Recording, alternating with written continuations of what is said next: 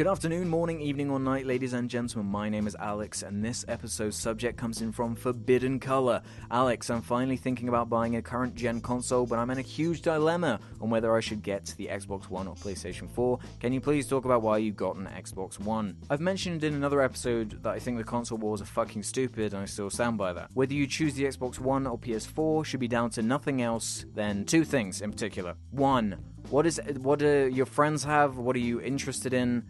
And more importantly, which has the games that you care about on them? It's no good saying, "Oh well, I always want my games to be in 1080p, so I'm going to go with the PS4." Well, if it's got no games that you care about, then what's the what fucking difference does it make? It comes down to do you do you like Uncharted? Do you like Bloodborne? Do you like things like The Order? Do you like a lot of more obscure sort of indie and Japanese cool exclusives that Sony like to release? Or do you prefer a lot of the big AAA hitters like Forza, Halo, Gears of War, Sunset Overdrive, all this craziness like that? You got to weigh it up. And also, what do your friends have? Because it's no good being the only person who gets a PS4 if all your other friends get an Xbox One, because then you can't play with them, you can't talk to them.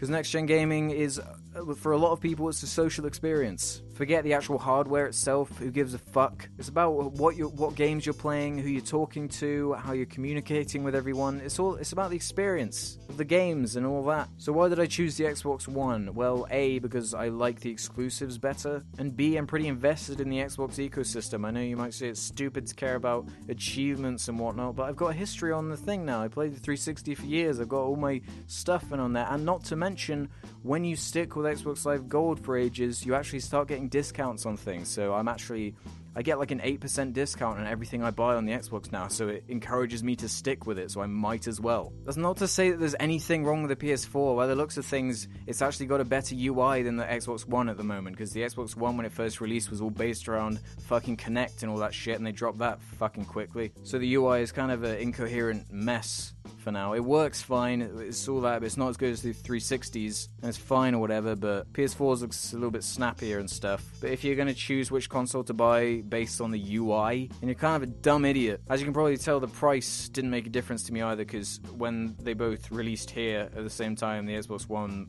was more expensive because it came with that fucking Kinect. But I didn't give a shit. Because if you care about the price, then I think the Xbox One is actually cheaper now than the PS4. So I guess that's if that's important to you. I also like the Xbox controller a lot. I hear the PS4 controller is a whole lot better than the DualShock 3, or I think that's what it is. Yeah. I, video games. You just go down into all this bullshit, and it's just like, buy the one you want. You're gonna have it. If you're so undecided, then maybe you don't need one. Or if you're so undecided and all you care about is third party games, then just get whichever one's cheapest, if it's that unimportant. If you don't know, then what difference does it make? Because when it comes down to it, they're both pretty fucking similar in terms of their game libraries. I mean, really similar. When all the big hitters come out at the end of the year, uh, you're not going to be caring about what it's on, like your, your Fallouts, which we presume is going to be out this year, your Batman Arkham Knights, your, your new fucking Call of Duties and Assassin's Creeds it doesn't matter what you play it on. Too bad other people on the internet can't think like that, huh? So all in all, who gives a shit? Just get the one which m- makes the most sense to you. So what do you guys think? Uh, do you hate the decision? Do you hate having to decide, or is it an obvious choice? Tell me in the comments below. And as always, thanks for watching. All comments and ratings are very much appreciated. And make sure you leave suggestions for future job labs. I'll see you next time. Bye. Religion, eh? I, have avoided this one like the fucking plague for a reason. One, because I know it's. I'm not gonna. I'm not gonna make a video called "I Hate Religion." I'm just not gonna do it.